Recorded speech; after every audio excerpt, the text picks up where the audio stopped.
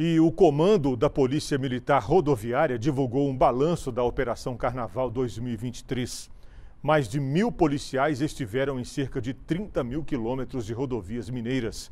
A operação contou ainda com o apoio da Polícia Rodoviária Federal. Estamos aqui para apresentar o balanço da Polícia Militar Rodoviária na Operação Carnaval 2023.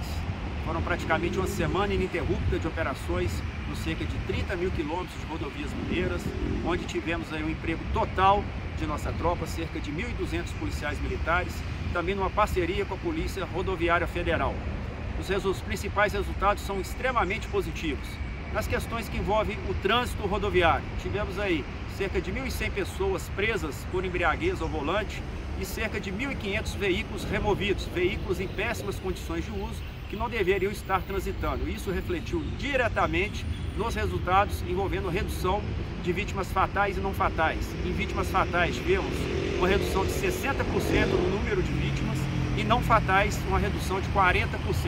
Tivemos mais de 20, mais de 20 armas de fogo apreendidas. Isso reflete diretamente na redução de homicídios, na redução de roubos nos blocos carnavalescos, tanto no interior quanto na capital, além de vários outros indicadores extremamente positivos.